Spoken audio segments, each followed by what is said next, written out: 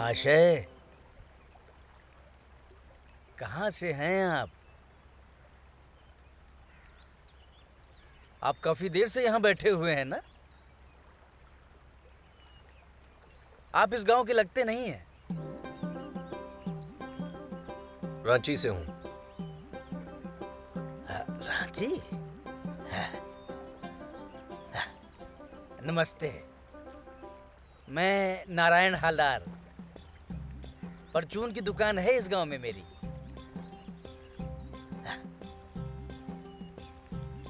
क्या करते हैं आप? व्यवसाय। कपड़ों का। तो आप यहाँ व्यवसाय के लिए आए हैं? वायु परिवर्तन। मैं यहाँ घूमने आया हूँ। अच्छा बड़ी अजीब बात है। छः सालों से इस गाँव में रहता हूँ। लेकिन मुझे तो कभी ऐसा नहीं लगा कि इस गाँव की वायु से कोई परिवर्तन भी हो सकता है। आज भी अपने साथ कुनैन की गोलियाँ लिए घूमता हूँ।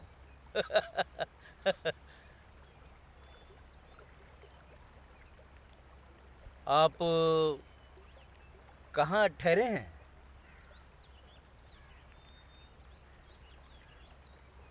वहाँ।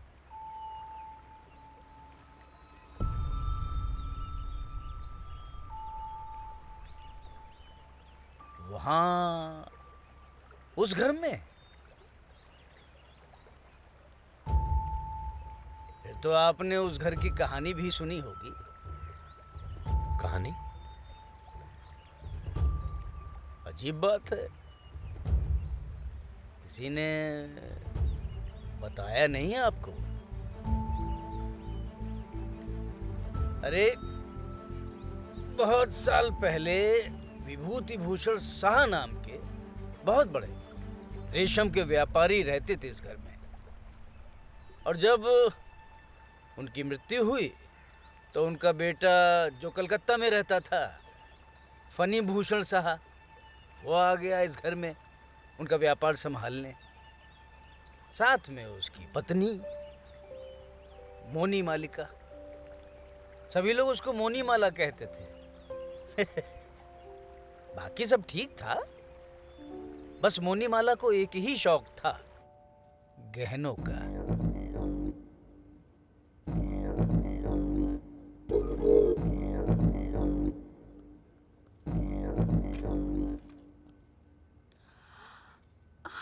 कैसा है? बहुत सुंदर है।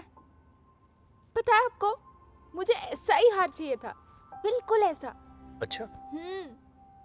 और? और? और क्या लाए? कुछ भी तो नहीं।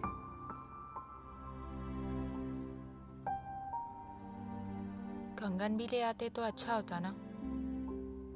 कितनी बार वही पुराने कंगन बार बार बदल के पहनूँगी।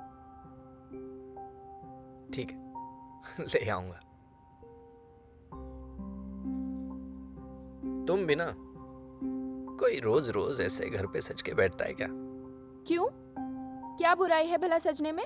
नहीं नहीं बुराई नहीं है मतलब। हाँ हाँ। वैसे भी आपको क्या पता रोज घर पे अकेले रहना कैसा होता है। आप तो चले जाते हैं सुबह होते ही और फिर दिन ढलने के बाद ही घर पे आते हैं। यहाँ कहने सुनने वाला भी कोई नहीं होता। तो बस इन गहनों से ही अपना जी बहला लेते हैं। इतने बड़े घर में इन गहनों की खनक ही तो है जो मुझसे बातें करती रहती है। पर फिर भी अगर आपको ये सब नहीं पसंद तो अरे नहीं नहीं नहीं नहीं। मुझे क्या परेशानी हो सकती है तुम्हारे सजने से? आ, वैसे तुम्हारे इन गहनों के बारे में कुछ भी कहो ना तो तुम बुरा मान जाती हो। कभी कभी तो ऐसा लगता है जैसे मुझसे भी अधिक प्रेम तुम अपने इन गहनों से करती हो।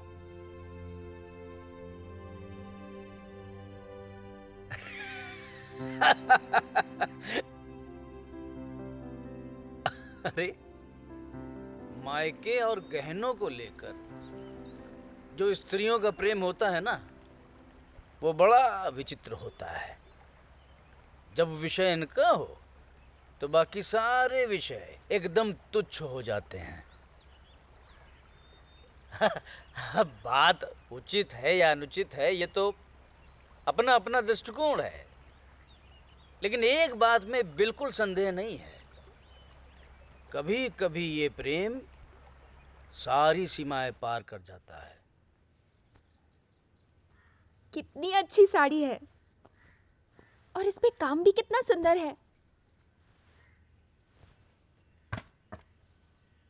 पर इसके साथ पहनने के लिए एक बाजूबंद भी होता तो अच्छा होता ना।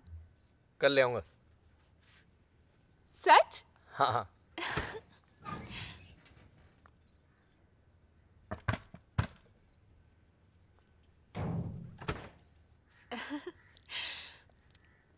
अच्छा मैं क्या कह रही थी? हम्म? मधुसूदन को ना कुछ पैसे चाहिए। किस लिए? पता नहीं कुछ खरीदना होगा शायद। उसने बताया नहीं मुझे कुछ। हाँ तो वेतन मिलता है ना उसे हर महीने। उन पैसों का क्या किया? खर्च हो गए होंगे। छोटा है दे दीजिए ना। और आपकी काम में इतनी मदद भी तो करता है वो। काम में मदद करता है वो ठीक है। लेकिन और भी बहुत कुछ करता है। बड़े महँगे शौक पाल रखे हैं उसने। मतलब? बड़ी इत्र की खुशबू आती है उसके पास से आजकल। यहाँ वहाँ से पैसे निकालता होगा। वरना इतने महँगे शौक पूरे करने के लिए पैसे कहाँ से आएँगे? यहाँ वहाँ से पैसे निकालता होगा मतलब? आप मेरे भाई को चोर कह रहे हैं? मैंने ऐसा कब कहा? मैं अच्छी तरह से जानती हूँ आप क्या कहना चाहते हैं। और आपके कहने पे भी ना मैं इस बात का विश्वास नहीं करूँगी। सके भाई से भी ज़्यादा मानती हूँ उसे। और अच्छी तरह से जानती हूँ कि वो ऐसा कुछ भी नहीं करेगा। कुछ भी हो, आज वो अपना है। खाक अपना तक